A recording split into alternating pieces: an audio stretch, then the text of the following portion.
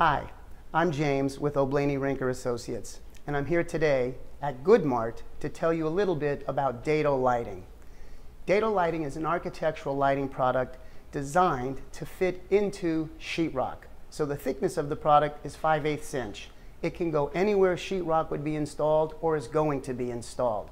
The product is available in continuous runs up to 32 feet with one lens and no seams. We can do corners. We are available in curves. We handle recessed, of course, as well as surface applications. It's available in pendant as well as step light form. We can fit into elevator cabs and cabinets. It's available in a wide range of Kelvin temperatures and needs to be seen to truly understand. For more information, visit Dado Lighting online and don't forget to see our friends at Goodmart.